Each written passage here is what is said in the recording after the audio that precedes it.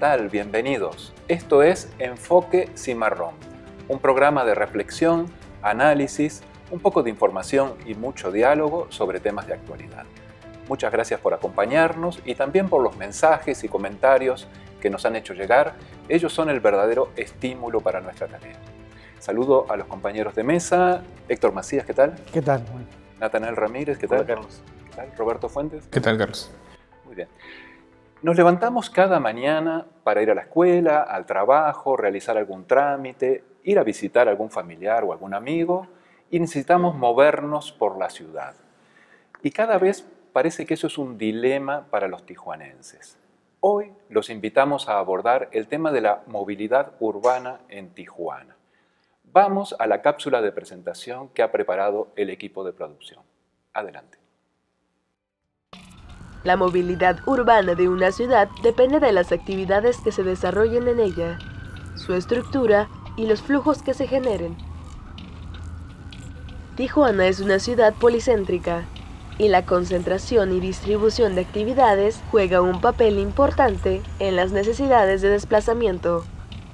Dado que hay grandes distancias que recorrer, en Tijuana se favorece el traslado individual en automóvil pues no cuenta con las vialidades ni opciones de desplazamiento adecuadas para distribuir satisfactoriamente los flujos tan intensos y variados.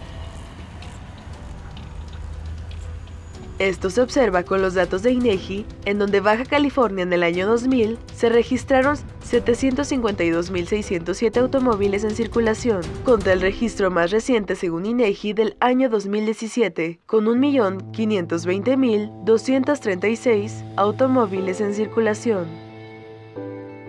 Esto se explica en parte por la posibilidad de adquisición e importación de vehículos usados a bajo costo que ofrece su situación de zona fronteriza, pero también por la presencia de un transporte colectivo deficiente. Abrimos la mesa. Si quisiéramos realizar un diagnóstico, ¿qué datos, qué elementos problemáticos podríamos identificar? Natanael. Bueno, para explicar un poco el, el tema que vamos a reflexionar el día de hoy, voy a referir un poco a la información que manejan los censos de población y vivienda que se realizan en México, que lamentablemente el, dato más reciente no es muy actual, es del 2010, pero ya desde, desde esa fecha se visualizaba un crecimiento de la población hacia las zonas urbanas. Ese dato, ese censo en particular reportó que el 77% de la población ya estaba concentrada en zonas urbanas y que en décadas previas es una tendencia positiva, es decir, viene creciendo. Lo que, lo que genera es presión, obviamente, en las principales ciudades donde hay mayor cantidad de población para el tema de la movilidad urbana. Y si revisamos también eh, las ciudades con mayores niveles de población, Tijuana en particular va a estar, después de la Ciudad de México, va a estar entre las cinco, cinco con mayor niveles de población. Entonces, eso también le genera un plus al, al problema de la movilidad urbana. Luego, hay un indicador que se genera a nivel mundial que se conoce como la tasa de motorización, que lo que mide es básicamente cuántos autos hay por cada mil habitantes. Y con eso más o menos se refleja pues, el, porcentaje que existe en cada entidad federativa o en cada ciudad. Bueno, ese indicador lo construyó la Secretaría de Comunicaciones y Transporte para México y lo hace por entidad federativa. Y en el caso, caso de Baja California, somos la segunda entidad federativa con el mayor indicador, es decir, donde hay más autos por cada mil habitantes.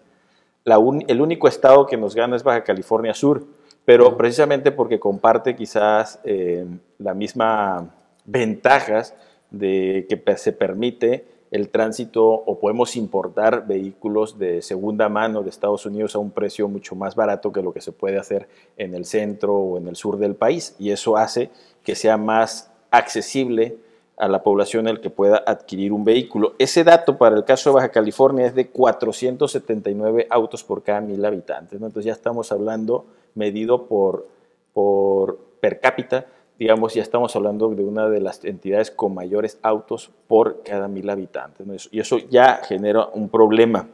Otro tema que también va implícito es el tema de la infraestructura.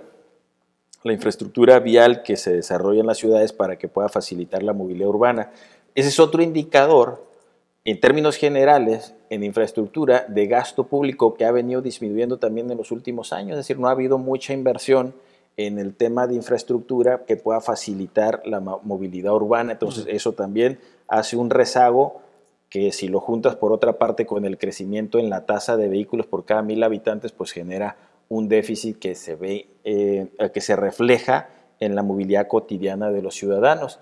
Y habría que sumarle también que en el caso particular de Tijuana, pues existe también la falta de regularización, permite que muchos ciudadanos puedan tener acceso a vehículos no formales, por así decirlo, como se conoce aquí como autos chocolates, ¿no? Eso también hace que haya un problema eh, o, o, abone al problema de movilidad urbana. Y por último, mencionaría el mal transporte público que existe en la ciudad, ¿no? en el caso específico de Tijuana. Es uno de los más caros también a nivel de ciudades y no muy eficiente. Es decir, ¿por qué? Porque yo creo que es de las pocas ciudades donde existen estos taxis ¿no? de, de, ruta. Eh, tipo combi. Tipo combi. Sí, los tradicionales, los que conocemos aquí de taxis de ruta que obviamente hace que sea muy poco el, el pasaje que pueda usarlo ah, y hace que el volumen sea mayor y que no sea muy eficiente. En fin, me parece que todos estos factores no abonan o no apoyan para que podamos tener una movilidad urbana más eficiente o de mayor calidad para el ciudadano. Muy bien, acá hay unos aspectos muy importantes que ha señalado Natanael. Roberto, ¿qué podemos agregar a este panorama? Bueno, eh, primero agregaría un dato más. Eh, incluyendo el, INEGI tiene su propia encuesta, la encuesta nacional de ingreso y gasto, donde mide las características del hogar y les pregunta si tienen hogar o no. Independientemente, por ejemplo, tienes carro, independientemente si ese carro está regular o no. El dato que ellos calculan es que 85% de los hogares tienen algún tipo de transporte motorizado. Puede ser carro, puede ser pickup, puede ser motocicleta. Eso nos pone como la entidad federativa con mayor proporción de carros por hogar. Es decir, tenemos, ellos estiman 1.050.000 hogares, 850 y piquito tienen un auto, una forma de transporte motorizada. ¿Eso cómo nos pone en comparación a nivel nacional? El 57%, en promedio el 57% del país eh, tiene, los hogares tienen un auto. El reto aquí creo es el siguiente, porque tradicionalmente hemos, eh, hemos interpretado estas cifras como métrica de éxito económico de una región, ¿no? Es decir, más carros significa entonces mayor crecimiento, mayor actividad económica. Y sin duda, tal vez así era en los años 60, 70. Pero ahora lo que estamos observando en las economías más avanzadas es justamente la tendencia contraria. Transitar de eh, transporte motorizado a individual, particular, a transporte masivo, a uso de, digamos, medio de transporte más eh, bicicleta, más eh, sensibles con el tema ambiental. ¿no? Creo que a eso tendríamos que, eh, a, eso tenemos que transitar. Adicionalmente, yo sumaría otro punto a la mesa, es si tiene que ser o no considerado el transporte público como un bien público.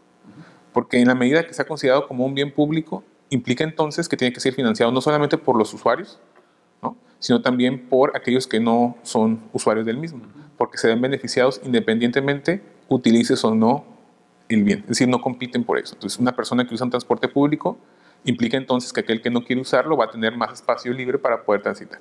O aquel que es dueño de eh, un comercio cerca de una estación, también se va a ver beneficiado del financiamiento de ese transporte público todo ese tipo de aspectos tendríamos que considerarlo para el diagnóstico. Vamos a partir de que es un bien público, si es, si es así, que tanto tiene que ser financiado por todo el impuesto de todos, independientemente utilices o no el transporte público.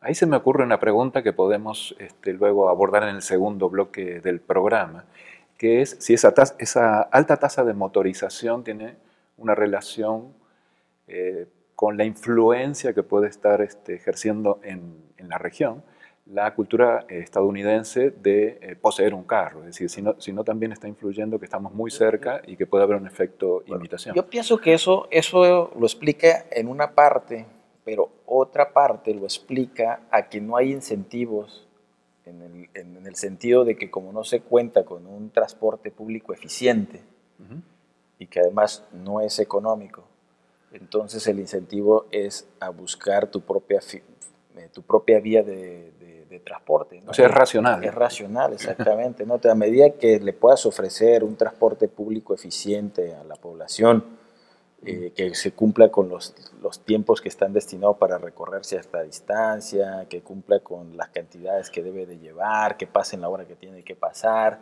pues te permite programarte y hacer bien las actividades que, que normalmente haces en un día, ¿no? Pero mientras eso no exista, pues yo creo que la población tiene incentivos para tratar de hacerse de un vehículo que permita resolver sus necesidades, que me parece que es lo que pasa en Tijuana. ¿no? ¿Qué es lo que está pasando?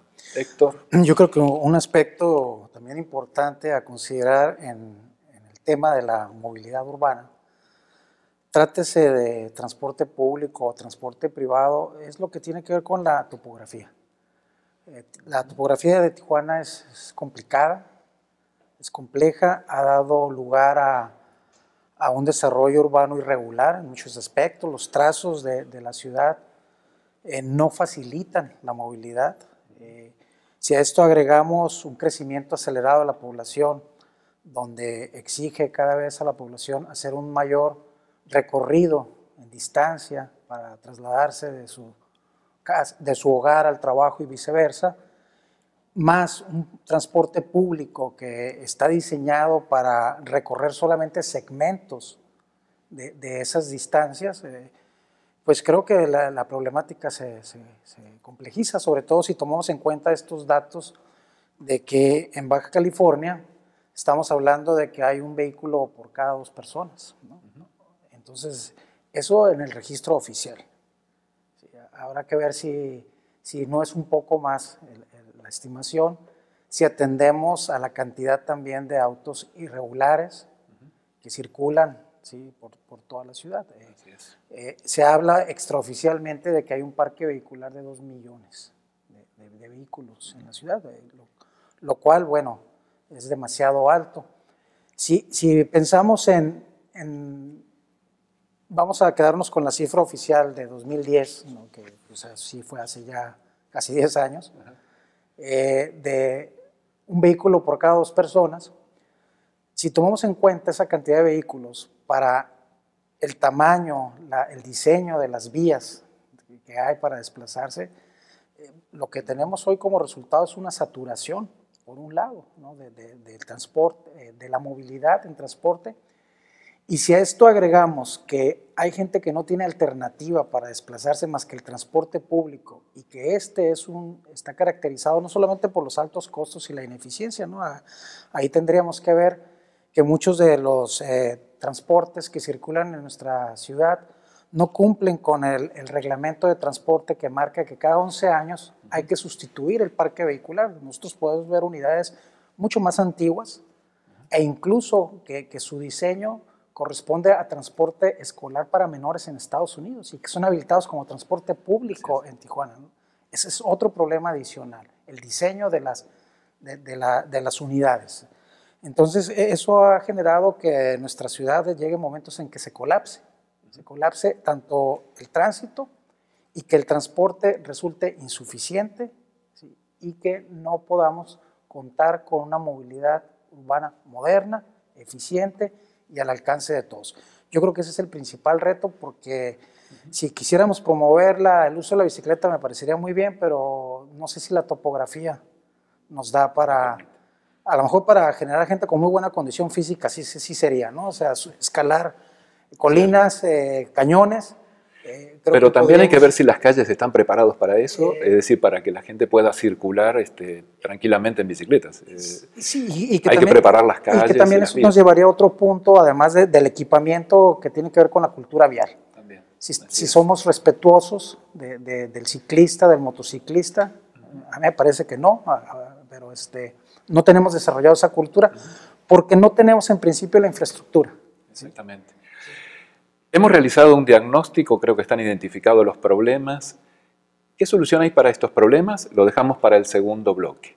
Ahora vamos a ver la opinión de ustedes sobre la movilidad vial, la movilidad urbana en la ciudad de Tijuana. Quien necesita ah, poner más acción eh, los personajes eh, que están en la candidatura acerca de controlar la velocidad y el respeto que se merecen los usuarios Pues no está muy bien desarrollado porque nosotros que tenemos discapacidad visual batallamos mucho tanto para el transporte, cómo agarrarlo, los camiones, no se para la gente, no hay cultura. El transporte público en Tijuana es muy deficiente.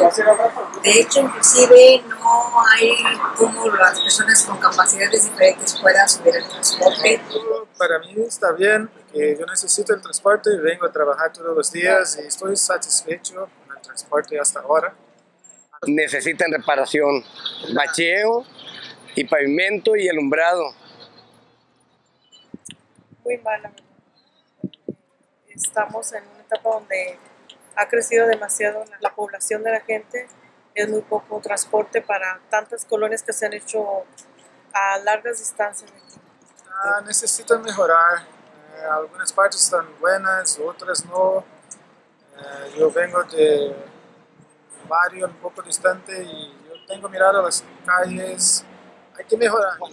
Eh, por lo principal, ayudar a las personas que tenemos cierta discapacidad visual. Desde hace muchos años no han podido hacer absolutamente nada para ayudarnos a nosotros, las personas que tenemos discapacidad, para poder transportar, caminar de una manera segura y correcta. Poner más rutas más, más accesibles eh, a las colonias que están lejos. El apoyo tanto a los estudiantes, que es lo principal, que tienen jornadas temprano y son caminos largos. Entonces ahí los días que se trabaja son recorridos largos, es donde se satura. Entonces sí que te ponga un poquito más de apoyo más a los estudiantes. Estamos de regreso, abrimos aquí el segundo bloque, esto es Enfoque Cimarrón. Durante el primer bloque, sobre este tema de movilidad urbana, se ha realizado un diagnóstico aquí en la mesa donde se ha ha hablado de crecimiento urbano, Tijuana es una ciudad extendida, tasa de motorización muy alta, es decir, la cantidad de autos cada mil habitantes, inversión en infraestructura vial en descenso en la última década, falta de regularización de, los automóviles, el, el, fenómeno conocido como autos chocolates, deficiencias en el transporte público, no se cumplen con los reglamentos, etc. Y además eh, topografía irregular de la ciudad que dificulta aún más buscar soluciones. Eh, esas soluciones son políticas, son soluciones culturales.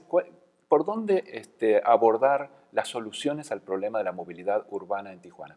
Le voy a pasar la palabra a Natanael, pero también él quiere hacer una aclaración sobre algunas cifras que manejamos en el primer... Este, no, solo, solo quería precisar, o sea, cuando hablé del dato de población, ahí sí estaba haciendo referencia al Censo de Población y Vivienda del 2010, aunque luego la propia Consejo Nacional de Población hace proyecciones, y en esas proyecciones, pues Tijuana sí está dentro de las cinco ciudades más grandes de, de México, pero el dato de de número de vehículos por cada mil habitantes es reciente, no, es, no, es, no, tiene tanto tiempo, por ahí como en el 2016, creo que aquí platicando con Roberto. Es un dato mucho más nuevo que el del censo. Efectivamente es una de las entidades federativas con, se ríe Roberto, ¿no? Es uno, de los, es uno de los estados con mayores autos por cada mil habitantes, ¿no? O sea, tenemos una de las tasas de motorización más elevadas del país, eso ya hace complejo el tema, por los factores que ya explicábamos aquí un poco.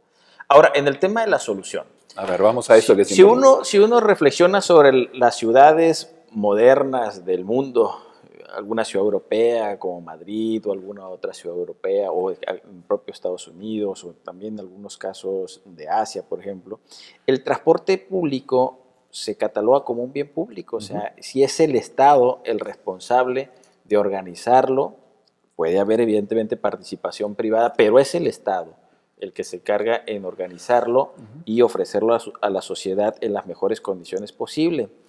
Y no importa el tema topográfico o la orografía, o sea, yo creo que hay tecnología, hay medios ya bastante desarrollados que pueden permitirte tener un transporte público, así sea en montañas o así sea en terreno plano. Entonces, me parece que lo que ha hecho falta de entrada es un proyecto de largo plazo de modernizar el transporte público en la ciudad, que creo que eso no ha habido. ¿No ha habido voluntad política? ¿Ha- ¿Han Pues, habido proyectos y no se han Ha, aplicado? ha habido A ver, voy a poner el caso reciente. En la administración pasada municipal se trazó un proyecto de transporte público, el famoso CIT, que bueno, podrá tener sus críticas o podrá tener sus objeciones, pero al fin de cuentas era un proyecto que buscaba modernizar, si no todo, una parte del transporte público en la ciudad. Eso es positivo. Ujú. Sin embargo, como que ya no hubo el seguimiento, ni se le dio el peso relevante al tema, y ahí se fue quedando rezagado, de tal forma de que no ha podido tener los avances que esperábamos. Cuando de entrada, pues era un proyecto que modernizaba el transporte público de la ciudad. Al menos te ofrecía o te ofrece una opción mejor a lo que ya existe en la ciudad, ¿no? Pero evidentemente sí hay un tema de voluntad política porque ya no hubo seguimiento y eso es lo que hace falta, ¿no? Yo creo que modernizar el transporte público en la ciudad implica varias administraciones, no se resuelve en una. Es una política mediano o largo plazo. Claro. Sería. A sería políticamente muy costoso. Yo, yo veo la decisión y, y me explico. modernizar el transporte público. Por supuesto. Políticamente, yo eh, económicamente y políticamente. O sea, ¿dir- ¿Dirías que la solución va por otro camino? En varias. es- yo, la solución, lo único que puedo decir es compleja. No sé cuántos, cuántos caminos tenga, pero es muy compleja. Por una parte, eh, el individuo toma la siguiente decisión: transporte público o privado. ¿Me compro un carro o uso el transporte público? Es la primera decisión que tiene que tomar. El caso de nosotros que vivimos en frontera, el costo asociado al transporte privado es relativamente muy bajo, porque tenemos acceso a carros de segunda. Adicionalmente, aquellos que no son regulares, pues no tienen que pagar la cuota de importación. Entonces, el costo asociado, ni los impuestos, y nos guste o no, la gasolina es relativamente muy barata. La clase media nos gusta hablar de eso, pero es muy barata. Entonces, el bien complementario para mi carro es barato. Entonces, el costo total asociado a utilizar el transporte privado es muy barato en comparación a otras ciudades. El transporte público, entonces la- mucha gente se decanta por esta alternativa. ¿Qué ocuparíamos? Ocuparíamos elevar el costo asociado al transporte privado, elevar la gasolina, hacer una, una mayor regulación en los carros que podemos importar y, y- y cuáles no. Y eso tiene un costo político altísimo. ¿no? Altísimo. Una vez que elevas el costo asociado al transporte privado, entonces se vuelve relativamente más eh, atractivo. Atractivo. Solo que tiene que ser al revés, ¿no? Primero tienes que ofrecerle una buena opción de transporte público. Es ahí a mí donde no me queda claro. ¿Qué fue primero? ¿El mal transporte público? y Entonces la gente se decantó como alternativa al transporte privado. ¿O el transporte privado hizo que el transporte público no mejorara? Lo que sí me queda claro es que no hay una masa crítica de sociedad que esté demandando un transporte público atractivo, barato, eficiente. ¿Por qué? Porque la alternativa del, del privado sigue siendo relativamente barata. Entonces, a la par hay que ir subiendo la calidad del transporte público. El problema es que hay muchísimos intereses. Concesionarios. Pero creo que lo que sí está concentrada la sociedad es haciendo presión porque evidentemente el alto parque vehicular que tenemos, la falta de infraestructura está haciendo ya que la movilización eh, personal en el transporte individual se torna complejo, ¿no? Y es la presión que está haciendo en lugar de presionar sobre desarrollar un transporte público más Y lo eficiente. que quieren es más, más vialidades, ¿no? Más, y eso no es la solución. Lo vemos en, en países desarrollados donde todo lo contrario, la tendencia es hacer Barcelona, por ejemplo, estas grandes cuadras, ¿no? Donde han quitado espacios al, al transporte público para que la gente pueda caminar, ¿no? Es- eso es la- hacia eso va. Y nosotros estamos pidiendo más vialidades. Héctor, Eh, pues eh, como bien comentan, la, la problemática es muy compleja. Eh, yo creo que la, la forma en la que se ha desarrollado nuestro sistema de transporte público ha obedecido a, intereses también políticos, corporativos. ¿En qué punto nos encontramos en este momento en cuanto al desarrollo? Eh, es claro lo que ya se ha apuntado, tenemos un, un transporte caro, ineficiente, muchas veces, eh, en muchos casos, obsoleto el parque vehicular, aunque se ha ido renovando en algunas empresas recientemente con la adquisición de, vehículos más modernos, de tamaño mediano, como una alternativa. Sin embargo, eso no ha resuelto el problema de fondo. y, yo no creo que esto que efectivamente puede para algunos ser más económico en un momento dado, decir, pues prefiero yo tener un vehículo a pagar por un transporte que me va a salir más costoso, aunque yo no sé si, como ya está la ciudad de colapsada en momentos, termine siendo igual o más costoso por el consumo de combustible. ¿sí?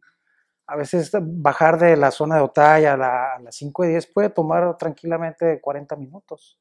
¿sí? Eso porque Tijuana es una ciudad que tiene un centro, ¿no? y quizás dos, dos, subcentros que son las 5 y 10 y la zona Río, pero hay un gran centro que... Yo creo que no se ha tocado un punto. ¿Cuánto nos cuesta eso económicamente, todos esos retrasos o congestionamientos? Yo creo que hay un impacto también. ¿sí? Porque a la hora que se va, por ejemplo, a medir la, la propuesta o calcular la, el incremento de una tarifa, se hace con base en los costos, no solamente de depreciación de, del transporte, sino también de los insumos. Entonces, si a eso agregamos vehículos sin importar, entonces hay, hay un problema que, que, tiene que ver no solamente con lo económico, también tiene que ver con lo político, tiene que ver con políticas públicas y tiene que ver con la misma concepción que se va generando a partir de estas situaciones que llevan a las personas a decir, bueno, pues a mí me sale más barato, o supongo que me sale más barato adquirir un vehículo de tantos pesos o dólares, ¿no? porque aquí es barato y, y llenarle el tanque o ponerle 100, 200 pesos para circular, si, sobre todo agarro o compro un vehículo de cuatro cilindros, ¿sí? pues eso me puede salir más barato que el transporte, pero al hacer eso también está contribuyendo a, generar otro problema, ¿sí? el de la contaminación, el problema de, del tráfico, el problema, se está abonando al problema de la irregularidad, etcétera, etcétera. Entonces, por un lado puede haber un, un beneficio, pero pocas veces nos ponemos a ver también la, la, contraparte. Y por supuesto, pues todos tenemos derecho a movernos ¿no? dentro de una ciudad.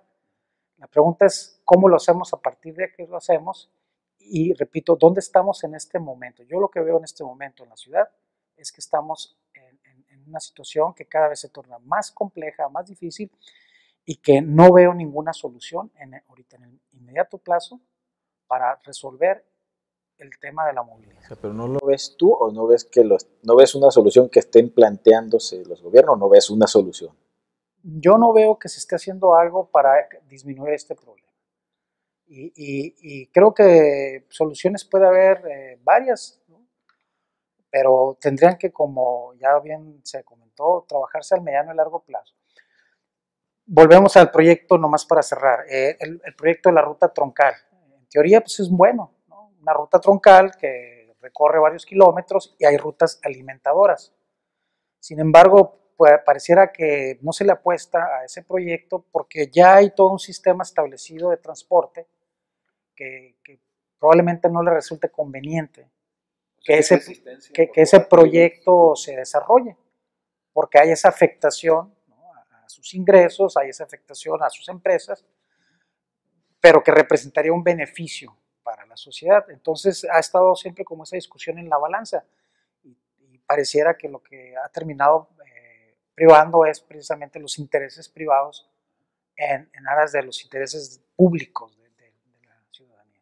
Roberto. Sí, nada más me gustaría comentar que pareciera que la solución, por lo menos eh, un indicio de, de solución, partió una vez que se generaron tecnologías que permitían acercar al consumidor al, al proveedor de servicio, ¿no? Todas esas tecnologías de eh, transporte que se maneja, manejaban a través de una aplicación, no sé si era la solución final, ¿no? Porque también tiene sus asegúnes y sus grandes retos, pero sí puso a temblar a toda esta organización eh, nociva que tenemos entre el gobierno, entre los uh, concesionarios, ¿no?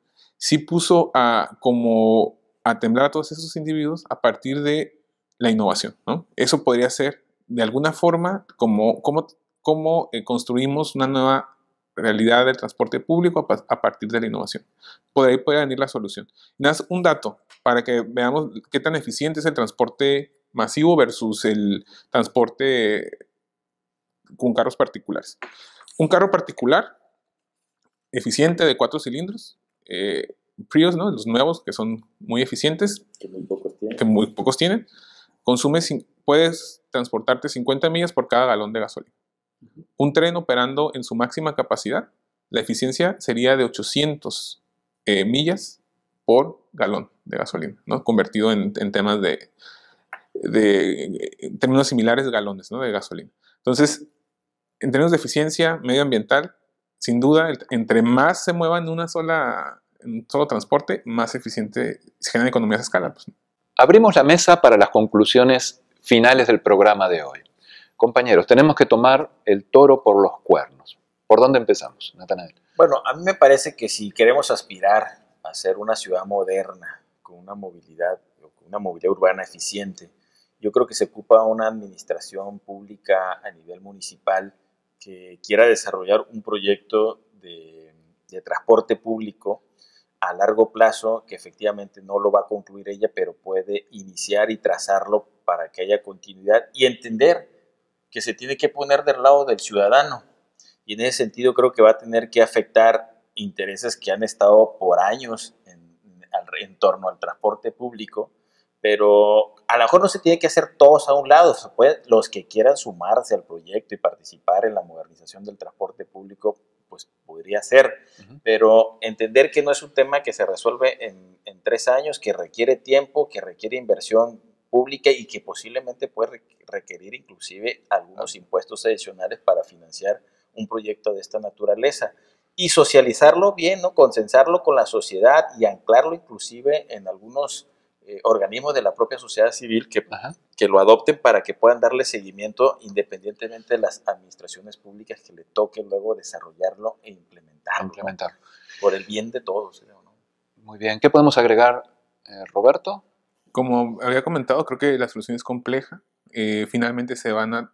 Cualquier solución que planteemos implica romper con intereses con, de antaño. Entonces, tendríamos que empezar por entender que es un problema que tenemos que solucionar todos y que un transporte público le conviene al empresario porque su trabajador va a llegar temprano y seguro a su, a su puesto de trabajo, a los estudiantes, a los profesores, que es un tema también medioambiental relevante y eh, que tendríamos que, para cualquiera que sea la solución, implicaría sacrificios importantes. Yo se imagino, una vez que se tomen las decisiones importantes, difíciles, a, la ciudad paralizada por, algunos, por algún tiempo, ¿no? Y que todos estemos conscientes de que eso va a pasar y estemos dispuestos a, como sociedad unidos, eh, asumir esos costos. ¿no? Héctor, para cerrar esta mesa de conclusiones. Eh, lo primero que yo creo que se debe hacer es aplicar los reglamentos, en principio. Es decir, que todos estén dentro de la legalidad, todo el transporte. Que sea un reglamento que dice que hay que sustituir cada 10 años, que no pueden circular transportes de más de 10 años de antigüedad, que se aplique. Que, que si hay conductores que cometen infracciones, por ejemplo, al reglamento, que se les infraccione. Si no es posible que tengamos un transporte que esté jugando las carreras exponiendo la vida de los pasajeros sin ninguna sanción por parte de las autoridades. Yo empezaría por eso básico, junto con la discusión de cuál sería un proyecto de mediano y largo plazo para reordenar, sabiendo que va a haber resistencias muy fuertes como las ha habido. Si a mí me preguntaran cuál es el sector que menos está desarrollado en la ciudad, es precisamente el transporte. Sí. Se nos terminó el tiempo por hoy. Esto fue Enfoque Cimarrón. Muchas gracias compañeros de mesa. Gracias Concepción y a todo el equipo de producción. Y como siempre, gracias a ustedes por acompañarnos. Nos vemos la semana que viene con otro tema de actualidad y que la pasen muy bien.